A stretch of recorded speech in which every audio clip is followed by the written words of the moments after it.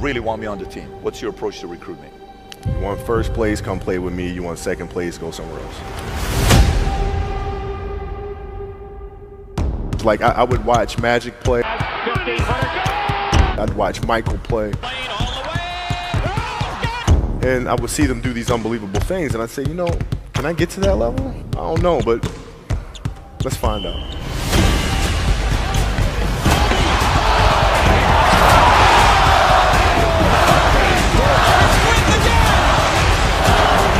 That's why he's the best player in the game. Everything was done to try to learn how to become a better basketball player. Everything.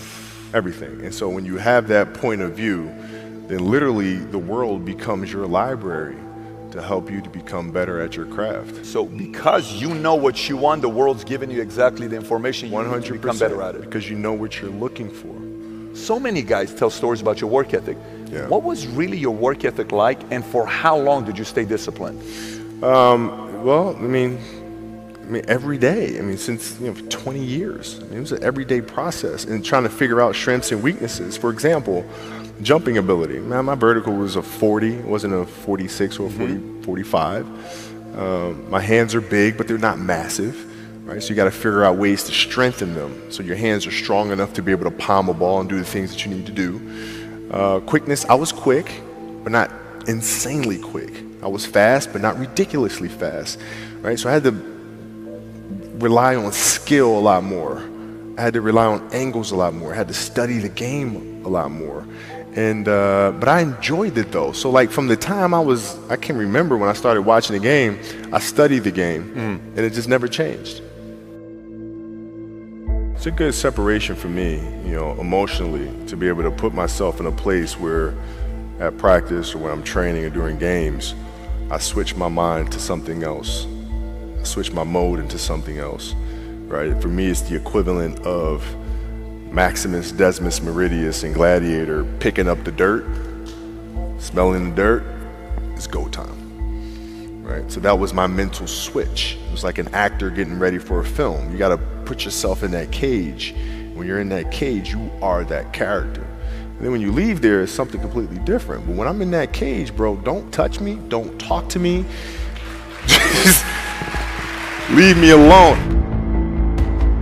How did you get mentally and emotionally so strong where it doesn't bother you? Well, you know, it's you got to look at the reality of the situation. You know, like for me, it's not. You know, you, you kind of got to get over yourself. Like, it's not about you, man. Like, oh, okay, you feel embarrassed. You're not that important. Like, get over yourself. That, that's where you go. Get over yourself. Right? Like you're worried about how people may perceive you, and like you're walking around and it's embarrassing because you shot five air balls. Get over yourself right? And then after that, it's okay, well, why did those air balls happen? Got it. High school, year before, we played 35 games, max, right? Week in between, spaced out, plenty of time to rest. In the NBA, it's back to back to back to back to back to back to back. I didn't have the legs. So you look at the shot, every shot was online, every shot was online, but every shot was short. Right? I got to get stronger. Uh, I got to train differently. The weight training program that I'm doing, I got to tailor it for an 82 game season mm. so that when the playoffs come around, my legs are stronger and that ball gets there. So I look at it with rationale and say, okay, well, the reason why I shot air balls is because my legs aren't there. I go, well, next year they'll be there. That was it. Done. Done. Were there some names that you looked at and says, these three guys are as crazy as I am? I deal, I, I, at the time, I deal with what I've referred to as Goat Mountain. I went to Goat Mountain and I talked to Magic, Michael, Bird, Keem Olajuwon, Jerry West, Oscar Robertson, Bill Russell. You know, so I would talk to them. What did you do? What were your experiences? Michael, in particular, he's become my big brother. He's been my big brother since I first came in the league. And what was that process like? So I went to them and started understanding the ins and outs of the game and you know how they approach things and their level of detail and obsessiveness and um, that's what I did. The players that had that passion but weren't willing to commit their entire lives to doing that, right? It's a choice. Right? You have other things. You have family. You have all these other things that you have to do. The game can't really be your number one priority. And so I was just looking at that like, man, I'm. This is gonna be fun. If, if I'm buddies with you from high school, if I'm a cousin of yours, what happened to our relationship? How, how did that gravitate when you went into the league and you're, you're determined to become the greatest or you're determined to become one of the greatest? What happens to our relationship? Well, it suffers. It does suffer. Oh yeah. Okay. Yeah. And you they- understood that. You were oh, okay yeah. with that. Well, yeah. And, and the people that love you, like friends and family, like they know that about you. Got it.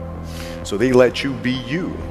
And when you reconvene, you know, pick back up where you left off. But make no mistake about it, everything in between is lost. Right? So those long-term relationships, the commitment of time of uh, you know, uh, taking vac like I see a lot of players take vacations with other players that are close friends. And they'll just take vacations just to take vacations or just hang out just to hang out. Like I, I I'm not I never did that. But Why, it was a choice. though? Why, why, why didn't you do that? What- Well, because when I retire, I didn't want to have to say, I wish I would have done more. I don't want that. You know, I don't want that. You know, you- you got a lot of people paying their hard-earned money to come watch you perform. Perform. Perform. It's your job to be in shape. It's your job to be strong enough to perform at that level every single night. And as a competitor, I'm not I'm not ducking shit. Like it's not, oh my God, my back hurts, I'm sore. We got to play Vince Carter and Toronto Raptors tonight. We actually had this happen. We had a game against Toronto in 2000, um, and Vince was tearing the league up. Um, my back was jacked, jacked. But like the perception of that, like what? Kobe's missing the game against Toronto Vince Carter because man, my back was really spasming. But people will be like, what? Oh, he's ducking Vince. Excuse me? No, I don't think so. So I would be in the layup line like, okay, there's a lot of days where you know you can rest and recover. Today ain't one of them. Your back can bother you any other day. That shit ain't bothering me today. We going he gonna have to see Oh, me man. today. Yeah. Oh man. yeah. If you're looking at a big investments you got to make, what is the decision making process there? Do you call? Is there first you do your own research? You take this much time. You call an advisor. Is there a, is there a system you No, follow? it's pretty pretty simple for me. It's it's do you understand the business? Is it a business that you can help in some form or fashion? What are the barriers to entry to that business? And then the entrepreneurs themselves, the company that itself, right? Do they have a culture that you believe is sustainable? Are these leaders people that you believe in? Are they people that are obsessives? And in turn, have they created a culture of obsessiveness? So I tend to look at those four factors, and that's it. That's That's big right there, by the way. I don't know if you guys caught that right there. That's pretty massive right there. Um, same determination. What's your current work schedule look like today? It's it's uh it's different because I personally am not writing every word of the novels. I am not animating the films. What I have to do now is make sure that the people that we bring in, these obsessives that we bring in, are challenging themselves to do the best job that they think they can do. That's what I'm there for, is for them to constantly look in the mirror and self-assess and challenge themselves. If we have a project and you're saying, okay, I can do that, that's not the project we want. The projects that say, I don't know if I can animate that. I don't know how to write that story. I don't know how to do that. Those are the things we want because through that curiosity, you'll reach a level that you didn't think was possible. And so, running the studio, that's what I'm doing.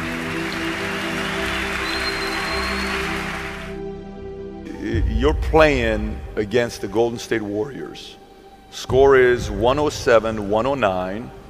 You guys are close to getting into the playoffs. You know exactly what happens in the game. You go up, you're about to take your shot, and then all of a sudden, boom, Yeah. Achilles happens, right? He went and hit the free throws, and then you walked off the stage. Yeah. You got the surgery done. when I, I went in the trainer's room, my kids are in there, and you know they're looking at you and stuff, and I'm looking at them, and I'm like, you know, it's all right. Dad's gonna be all right. Mm-hmm. It'll be fine. It'll be all right. It'll be all right. It'll be all right. As a parent, you gotta set the example. You gotta set the example. This this is another obstacle. This obstacle cannot define me. It's not going to cripple me. It's not going to be responsible for me stepping away for the game that I love. I'm going to step away on my own terms.